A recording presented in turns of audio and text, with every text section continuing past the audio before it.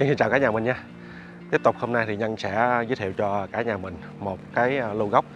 Nói chung là cũng à, lâu lắm rồi Nhân không có à, quay lô gốc. Cho nên là hôm nay thì trong cái sản phẩm, cái series mà chính chủ ký gửi của Nhân á, Có một lô gốc thì cái vị trí nó cũng khá ok nha cả nhà. Còn cái giá thì một lát Nhân nói. À, Như cả nhà mình thấy thì ở phía bên đây nè chỗ cái đống đất mà cao cao này nè cả nhà trong cái ờ, sơ đồ của mình, cái sơ đồ mà tổng thể của khu ờ, các tàu bổ sinh đó thì ờ, trong cái sơ đồ tổng thể của dự án các tàu bổ sinh mình đó thì cái vị trí mà chỗ đống đất cao này là công viên sinh vật cảnh. Ở đây là một cái công viên, nếu mà chủ đầu tư thực hiện làm thì nó khá là to nha cả nhà, rất là to đó. Và hiện tại thì như cả nhà mình thấy là đổ đất rất là cao và nhân thấy thì hầu như là với cái số đất này nó sẽ dư rồi đó dư so với cái cái mặt bằng tổng thể của uh, cái công viên của mình. Nhưng mà cái thời gian là uh, khi nào làm tiếp tục thứ nhất và thứ hai là khi nào hoàn thành thì nhân chưa biết rõ thời gian cho nên là nhân không có dám hứa và không có dám nói. Nhưng mà thực tế nó là quỹ đất của công viên sinh vật cảnh thì nhân sẽ giới thiệu một cái lô đất đối diện qua cái công viên đó luôn. Cái lô đất của mình lô gốc hai mặt tiền với à, cái diện tích là ngang 7.5 dài hơn 19 một chút xíu. Từ cái vị trí này nè cả nhà, từ cái cột bốc có cái ống nước nè, nó sẽ dài qua tới cái mí lề bên đây. Và sâu tuốt đằng sau luôn. Sâu à, tới cái cây dưới đây nè cả nhà. Một lô đất mà với à, cái diện tích ngang 7.5 và dài 19 thì phải nói là cái diện tích nó quá tuyệt vời. Và cái diện tích này thì cả nhà mình muốn xây một căn nhà, muốn thiết kế một căn nhà như thế nào cũng được, vô tư, thoải mái, không có cần phải bàn cãi hoặc là không có cần phải khó khăn về cái cái bản vẽ, bản thiết kế. Và mình sẽ có hai mặt tiền, một mặt tiền như cái hướng của nhân nè. Hướng nhân đứng ở đây cái mặt tiền này thì à, cái vỉa hè nó 2 mét và cái lòng đường 6 mét nữa. À, bên đây à, cái vỉa hè bên đây cái vỉa hè 2 mét nữa thì tính tổng cái đường này là nó 10 mét. Và mặt tiền này là mặt tiền đường phụ. Cái hướng chính nó là hướng à, hướng bắc. Rồi còn mặt tiền ngoài ở cái cái cái mặt chính của mình đó thì thường nhất là một cái lô gốc là nó sẽ có một cái mặt chính và một mặt phụ. Thì cái mặt bên hông bên hông là mặt phụ nữa cả nha và mặt chính vào đây thì mặt chính thì cái đường mình cũng khá lớn đó như cái nhà mà như nhân nói là viên công viên đó. Thì à,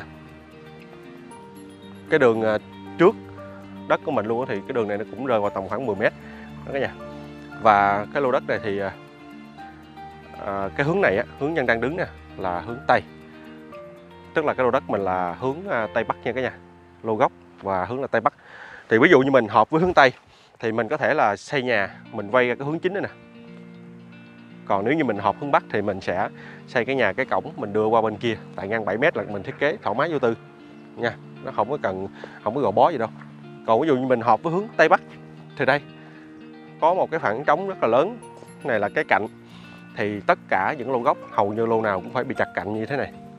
Chặt cái cạnh tại vì ở ngoài cái nhà phải bo.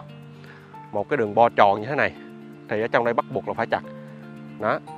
Cho nên là à, không thể nào mà cái lô gốc mà nó vuông vức được. Rất là khó cái lô gốc nào vuông vức. Tại vì nếu như mà lô gốc nó vuông thì bắt buộc cái lề của mình nó phải vuông theo. Đó chẳng hạn như nó tới đây. À, nó chặt vô đây. Thì mình chạy xe nó sẽ rất là khó.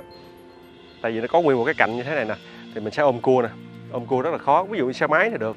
Xe máy thì nó dễ lắm. Mình luồn lách mình bo qua. Còn nếu như mình xe hơi rất là khó để mà có thể mà đánh lái để mà vẹo vào trong. Nó chẳng hạn như lúc này thì mình phải đánh lái tuốt ngoài kia mình vẹo ở đây, đúng không? Rất là cực. Cho nên nó phải có một cái bo cạnh như thế này. Đó, để mình vẹo ở đây. Nó rất là hợp lý. Và nhân xin nhắc lại là tất cả những lô gốc, lô nào cũng đều chặt cạnh hết. Và cái lô này trên cái sổ tổng của nó là à, 140 141 à, hết 4 mét vuông đó tức là do là nó chặt cái cạnh này là là nó không có có đều được. Cái diện tích nó hơi uh, lẻ lẻ chút xíu đó là lý do đó. Đó này nha bây giờ đang đang hai giờ mấy hai giờ mấy triệu đó. Nắng đang chấu thẳng vào mặt nha luôn nè là mình biết chính xác hướng tây đó. Hiểu không? Thì đó như ví dụ như mình hướng tây bắc thì mình học hướng nào thì mình xây hướng đó. Và cuối cùng thì nhân nói cái giá của lô này thì à, nói chung thì cái giá thì nó cũng không biết nói sao nhưng mà ví dụ như cô chú nào mình hợp hướng với lại mình thấy cái lô gốc cái diện tích nó thoáng nó rộng rãi nó thiết kế dễ thì mình cứ mua thôi chứ không có bàn tới cái giá được. Tại vì bây giờ hồi trước công ty bán thì dễ lắm nó có cái giá niêm yết. Còn bây giờ thì tùy theo cái người chủ đã mua lại của công ty và bán lại cho khách hàng à, những người đến sau thì người ta có quyền kêu giá. Và mình thì mình cũng có quyền trả giá đó cho nên bây giờ khi mà khách hàng à, mua lô này rồi bây giờ đầu tư bán lại kêu với cái giá là 1 tỷ 8 1 tỷ 8 thì còn thương lượng một chút xíu thôi. Đó thì nhân cũng à, trao đổi với chị chủ rồi. Chị chủ à, đứng trên tên sổ với luôn là chị Tú Anh ha.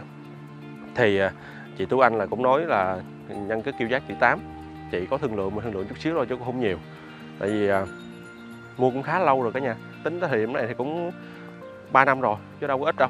Đó cho nên là quan trọng là bây giờ, nếu như mình thấy ưng thì mình quyết định mình mua thôi. Nó còn cái giá thì, nói chung giá đó thì nó cũng hơi cứng đó, chứ không có mềm lắm đâu. Nói thì nhân nhân chia sẻ cái nhà mình ai ưng thì mình cứ mua. Đó. Quan trọng là mình thích là được, và nhất là những cô chú nào mình xem mình ở thôi, chứ còn có dùng như đầu tư thì được, nhưng cái giá này mình đầu tư nó sẽ hơi lâu chút xíu. Đây đó là một số À, vấn đề mà nhân à, chia sẻ với nhà mình.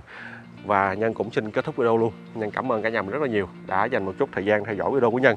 Và cả nhà mình nhớ nhấn nút đăng ký kênh của nhân nha. Dưới đây nè, màu đỏ đỏ, bấm vào đó đăng ký. Để khi mà nhân làm một cái video mới thì Google sẽ thông báo cho cả nhà mình và cả nhà mình bấm vào đó xem. Thì biết đâu là mình sẽ gặp được một căn nhà, một khu đất hoặc là một cái dự án nào đó mình thấy phù hợp với cái vị trí mình yêu thích. Và quan trọng nhất là vừa với tài chính của mình, thì lúc đó cả nhà mình cứ gọi cho nhân. Nhân sẽ vấn hết mình cho cái nhà mình luôn. Còn một chú chị nào mình muốn uh, ký gửi lại những lô đất hoặc là những cái căn nhà ở trong dự án phú sinh hoặc là những cái chỗ khác thì cứ liên hệ với nhân số điện thoại là 0909 117 880 còn nếu như bây giờ của chúng mình anh chị muốn xem những video khác thì hãy bấm vào những đồ trên màn hình nhé. Rồi xin chào và hẹn gặp lại ở lần sau.